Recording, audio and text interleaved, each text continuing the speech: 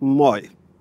Näinä päivinä puhutaan Suomessakin Palestiinan valtion tunnustamisesta, koska muutamat Euroopan maat ovat nyt tunnustaneet Palestiinan valtion. Mähän kannatan kriisin, siis koko tämän lähidän jatkuvan sotimisen lopettamiseksi kahden valtion mallia, koska en tiedä muuta keinoa, jolla nämä viiden tai kymmenen vuoden välein toistuvat sodat saataisiin loppumaan. Mutta mitä Palestiinan valtion tunnustamiseen tulee, niin mielestäni sen aika olisi mieluumminkin silloin, kun rauha on saavutettu ja se olisi eräänlainen palkkio rauhasta. Jos nyt tunnustetaan, niin kuin nyt on tehty Norjassa ja Espanjassa muuta, niin mä ainakin koen, että se on mieluumminkin palkkio Hamasille tästä hirvittävän ja kauhistuttavia seurauksia aiheuttaneen Kaasan sodan aloittamisesta.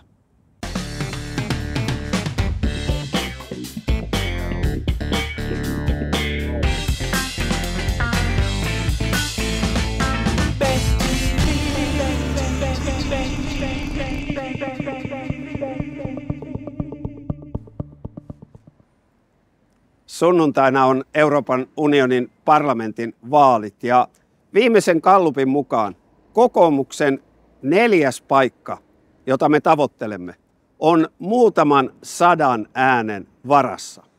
On todella tärkeää, että nyt jokainen, joka haluaa kokoomuksen näissä eurovaaleissa menestyvän, todellakin menee äänestämään. Ajattelin tässä Ben TVssä käydä läpi muutamia näihin vaaleihin liittyviä teemoja.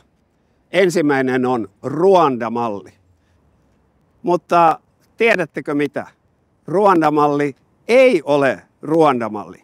Eli Suomessa tuskin mikään puolue kannattaa sellaista mallia, jota Iso-Britanniassa – on kehitelty, tuskin toteutetaan, että ensin Eurooppaan tulee ja jopa Britanniaan saakka tulee turvapaikanhakijoita ja sitten heidät lennätetään Euroopasta johonkin Afrikan maahan, esimerkiksi Ruandaan, jossa turvapaikkaprosessi ja suojelu toteutetaan.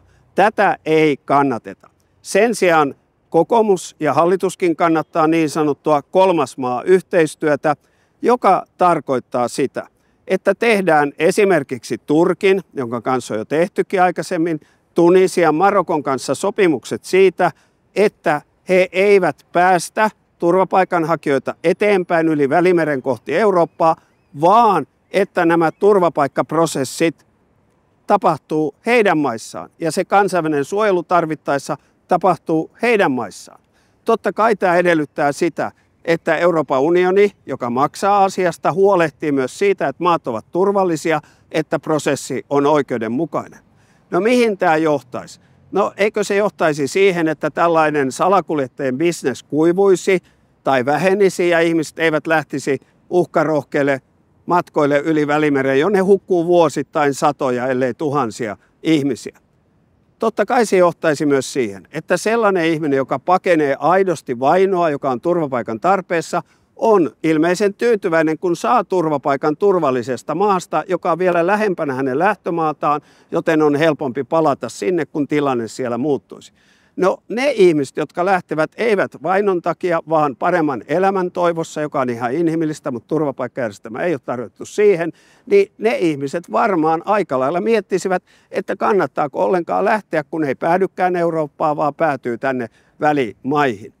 Tämä totta kai edellyttää sitä, että sitten kiintiöpakolaisia otettaisiin Eurooppaan enemmän. Eli jos aidosti turvapaikanhakijoiden määrä selvästi vähenisi, niin olisi tilaa ja aihetta lisätä Suomessa ja muuallakin kiintiöpakolaisten määrää. He ovat ihmisiä, jotka YK on todennut jo pakolaisiksi, siis UNHCR, ja silloin tulisi naisia, lapsia, perheitä, eikä niin kuin nyt lähinnä sellaisia nuoria miehiä, jotka uskaltavat lähteä vaaralliselle matkalle halki koko Afrikan tai Aasiamaiden halki hakemaan suojaa Euroopasta.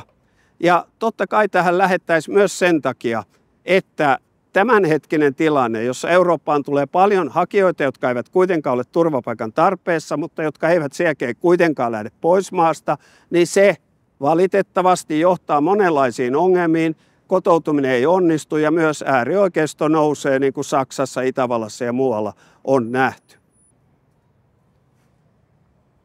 Maikkarin tentissä keskiviikkona Li Anderssonille sanottiin, että hei, onhan siellä teidänkin vasemmiston ryhmässä tällaisia putinisteja. No, Li Andersson ensin sanoi noin viisi kertaa, että niin, niin, mutta jos vasemmistoliiton ehdokasta äänestää, niin se on ääni vasemmistoliiton politiikalle. Okei, mutta sitten hän sanoi, että ei ne entiset kommunistit ja mitä siellä onkaan, ei ne ole mitään putinisteja, ne on tämmöisiä pasifisteja, jotka ei hyväksy sitä, että Ukraina antaa aseapua. Hei Li, sä oot tosi älykäs nainen, mutta älä pidä meitä muita tyhminä. Siis jos nämä entiset kommunistit, mitä ne onkaan, pasifistit, putinistit, jos ne on sitä mieltä, että Ukrainalle ei saa antaa aseita, niin sehän on aivan sama kuin, että tukee Putinin hyökkäyspolitiikkaa. Kai itsekin sen ymmärrät. Eli turha näitä valkopesta, oli ne entisiä kommunisteja, putinisteja, mitä tahansa, niin jos ja kun heidän politiikka on se, että ei aseita Ukrainalle, niin se on sama kuin voitto Venäjälle. Ymmärrät sen itsekin. Viimeinen EU-aihe, yhteinen velka. Kokoomus ei kannata uutta yhteistä velkaa EUlle.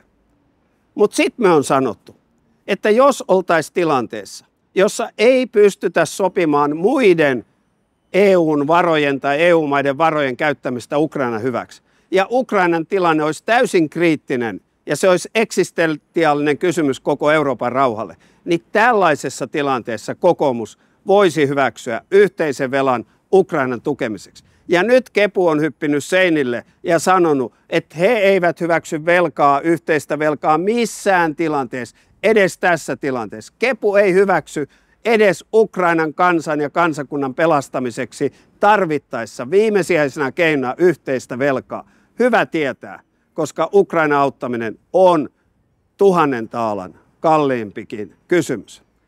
Nämä asiat tällä kertaa käykää sunnuntaina äänestämässä. Moikka!